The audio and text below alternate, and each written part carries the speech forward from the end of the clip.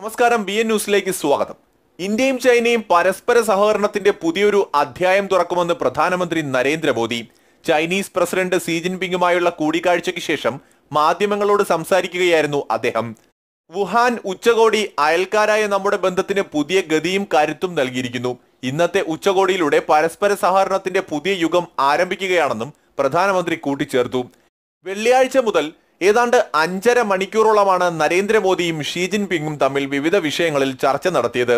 വെള്ളിയാഴ്ച ഉച്ചയ്ക്ക് എയർ ചൈനയുടെ ബോയിങ് എഴുന്നൂറ്റി നാൽപ്പത്തിയേഴ് വിമാനത്തിൽ ചെന്നൈയിലെത്തിയ ഷീ ജിൻപിങ് ഉച്ചകോടിക്ക് ശേഷം ശനിയാഴ്ച ഉച്ചയോടെ വിമാനമാർഗം നേപ്പാളിലേക്ക് തിരിച്ചു.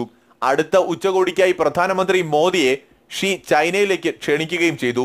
പ്രധാനമന്ത്രി ഈ ക്ഷണം സ്വീകരിച്ചു. ഉച്ചകോടിയുടെ വിശദാംശങ്ങൾ പിന്നീട് വ്യക്തമാക്കുമെന്ന് ഔദ്യോഗിക വൃത്തങ്ങൾ വ്യക്തമാക്കി.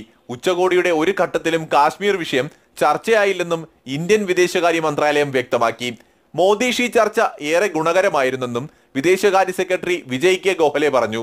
നിക്ഷേപവുമായും വ്യാപാരവുമായി ബന്ധപ്പെട്ട വിഷയങ്ങൾ ചർച്ച ചെയ്യാൻ ഒരു ഉന്നതതല സംവിധാനം രൂപീകരിക്കാൻ ഇന്ത്യയും ചൈനയും തീരുമാനിച്ചതായും അദ്ദേഹം കൂട്ടിച്ചേർത്തു. B news Kerala